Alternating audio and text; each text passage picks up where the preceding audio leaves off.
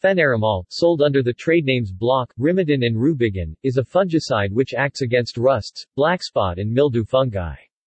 It is used on ornamental plants, trees, lawns, tomatoes, peppers, eggplants, cucumbers and melons. It is mainly used to control powdery mildew.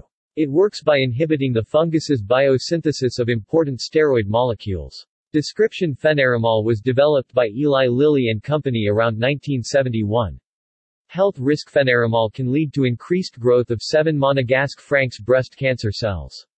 It has been found to be an endocrine disruptor, acting as a xenoestrogen and antiandrogen. Synthesis Fenarimol is made by the reaction of a diaryl ketone with an organolithium derived by halogen metal exchange. References External links Fenarimol in the Pesticide Properties Database PPDB